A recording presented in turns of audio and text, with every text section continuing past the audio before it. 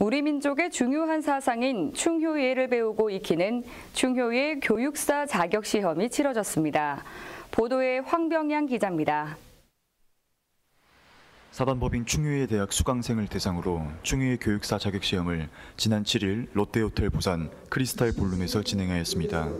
이번 행사에서는 한민족의 정신 문화인 충유의 사상을 정확히 인식하고 이를 토대로 사회적 약자의 권익을 위한 충유의 사상 실천을 목표로 두고 충유의 교육사 자격 시험을 응시했습니다.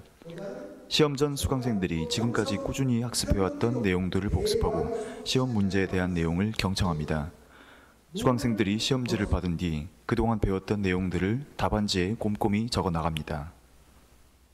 시험을 보니까 잘 몰랐던 부분도 많이 있었지만 앞으로 열심히 또 공부해서 만약 합격을 한다면은 1급 시험에도 도전을 하고 싶고요. 저희가 시험을 친다는 게 참 쉽지는 않은데 어, 이렇게 시험을 침으로 해서 좀 더 중요에 대해서 더 알아가고 있는 것 같습니다.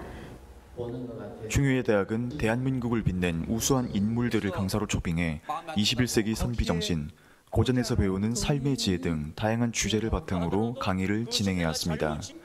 수강생들이 한민족의 정신 문화인 충유의 사상과 학문을 연구하고 본 기회에 자격 시험을 응시함으로써 우리 주변의 사회적 약자를 돌아보고 나라 사랑, 이웃 사랑, 가족 사랑, 자연 사랑을 꾸준히 실천해 나갈 수 있기를 기대해 봅니다.